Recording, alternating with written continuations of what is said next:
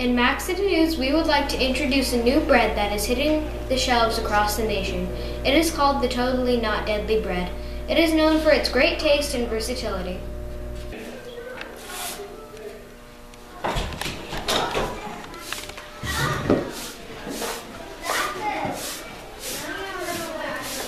You guys still have the Totally not deadly loaf? Yeah, we have two more loaves and I also have Sweet, and the Cheerios. Two more loaves.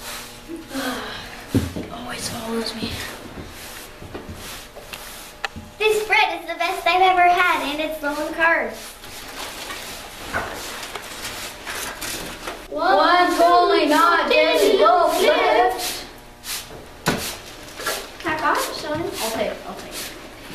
Mr. Rich I'll guy. take. You two find everything okay? Sure did. That'll be 555. Thank you. Come again.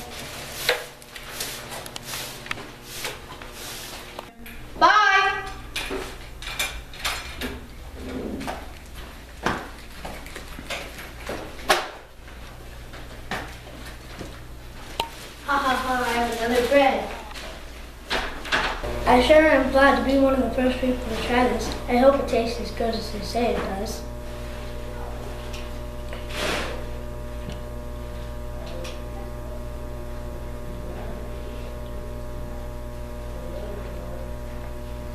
Wow, this is really good.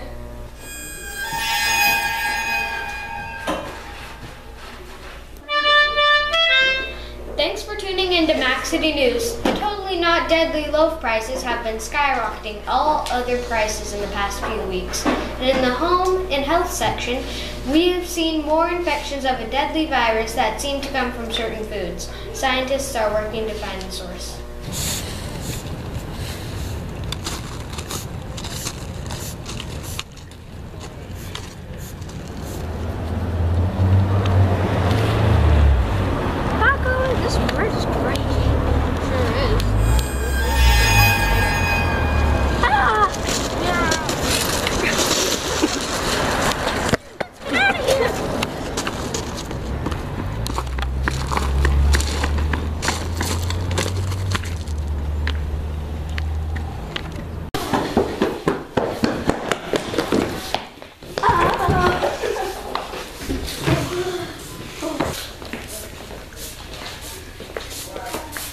Who are you, Dad?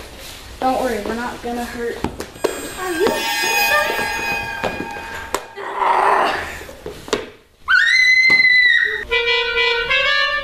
The whole city and our surrounding neighbors have seen a large loaf infection with no cure in sight. It's turning out to be an apocalypse out there with no end in sight. Please, we need help.